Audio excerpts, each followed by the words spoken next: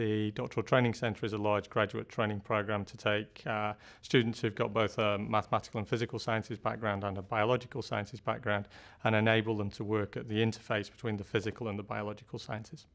I guess the primary challenge when we set up the Doctoral Training Centre was how we were going to train the students in mathematical modelling. And that's where um, MathWorks and MATLAB came in. One of the things that we were able to do was develop a course that made the mathematics come alive by using MATLAB. As part of that course, we could take them even further and very rapidly get them onto research problems uh, where they were using the power of MATLAB to enable them to do research that had been done inside the last couple of years. So typical examples might be uh, cancer modeling or AIDS modeling, where there's been a lot of work, but it's typically ordinary differential equations, and that's um, sort of the lifeblood of, of MATLAB, if you like. That's where it's really powerful. We use MATLAB right through the first year, so right from the basic MATLAB course through to um, high-end uh, applications such as medical imaging.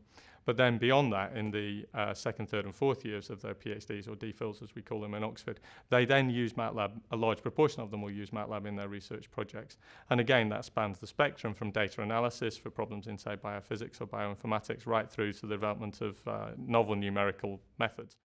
So at the end of the four-year program, we always ask them a few questions about the experience of the doctoral training centre and the, and the program they've been through. And we ask them which course was most useful to them. And the majority of the students say the MATLAB course. And that's because of the breadth of application of, of MATLAB. That breadth means that it is useful to everyone.